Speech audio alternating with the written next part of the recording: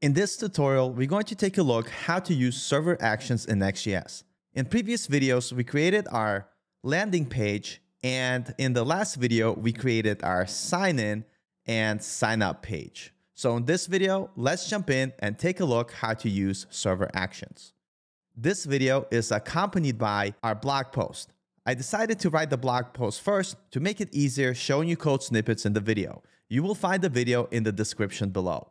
We're going to start by navigating to the section titled Form Submission in Next.js using Server Actions.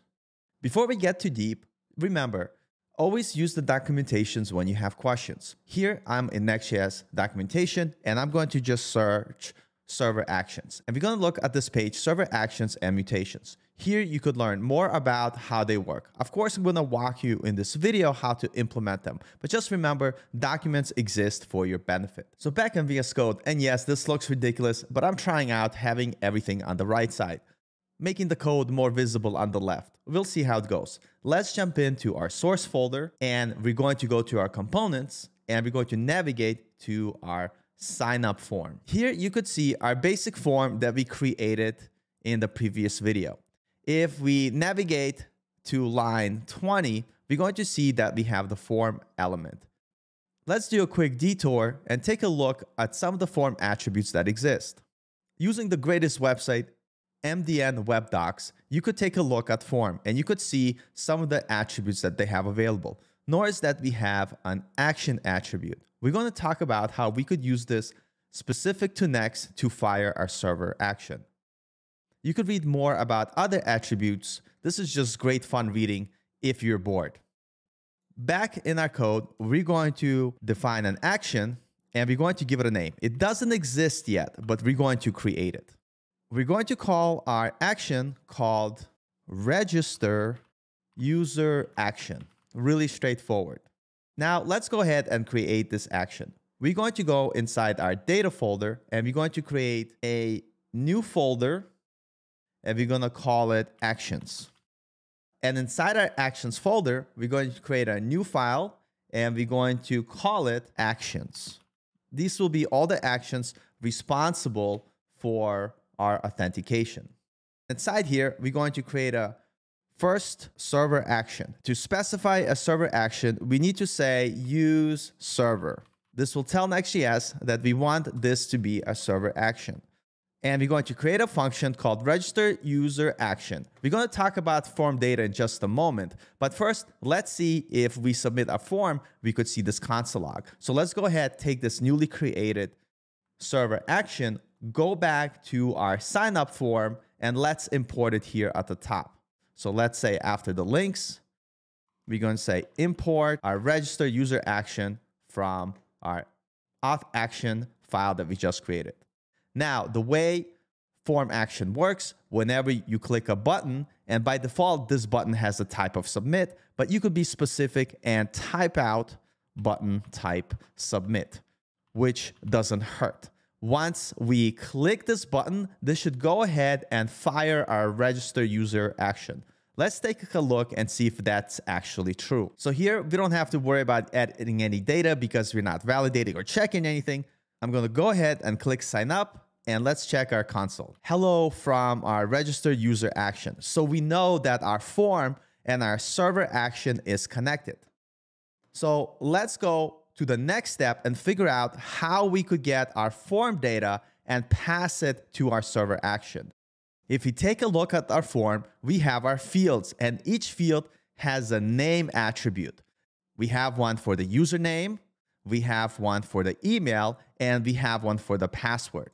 My goodness, MDN Docs is the best. So let's take a look at form data. If we scroll down, we could see that form data has the get method. That's exactly what we could use to get all of our data from our form. So let's see it in action. Back in our code, let's go to our auth actions. And here, right afterwards, I'm just gonna paste in this following code you could find it in the article that is going to be in the description below. But what we're doing here, we're defining a variable fields and it's gonna hold our user name, password, and email data. And we're using that form data.get method that we just saw in our MDN docs to get our input data. And what we're going to do, we're going to now submit our form and see if we could console log our fields. So in our application, let's do test user. Email is going to be test user at email.com. And let's say password is going to be test user. Let's click sign up. Nothing happens because we didn't write the logic, but at least we should be getting our data. So taking a look, notice, whoa, we are getting our data from our forms. So now that we have our data, we could do something with it. So let's see what we could do. But you notice that this data is happening server side. Why, if we wanted to create some validation and we wanted to pass this data to our client saying, hey, something is wrong? Before jumping into validation, let's take a look at how to use use form useFormState hook to help us to get the data from our server action and see it on the front end. So let's jump into the code and see how we could accomplish this.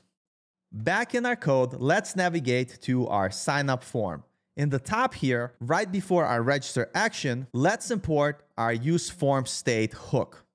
Now, after all of our imports, let's define a variable to store our initial state. We're just gonna call it initial state, and we're just gonna have data, which let's say is going to be hello, you wonderful, I don't wanna say world, uh, you know, I just wanna say you, people watching, wonderful people. Hello, wonderful people.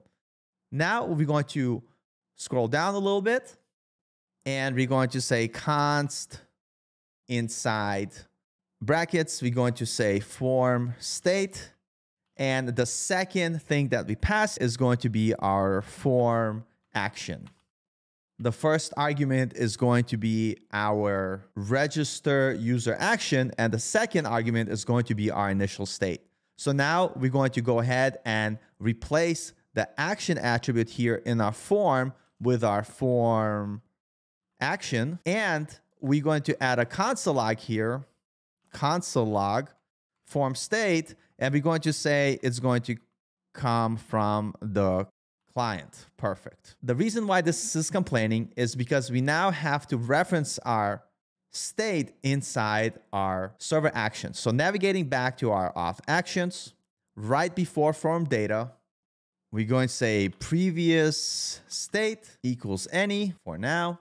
And here we're just going to go ahead and return our previous state and our fields. Now going back to our sign up form, and I just wanted to say hello, you wonderful people. But when we submit our form, hello, wonderful people should be replaced by our form data. So let's take a look.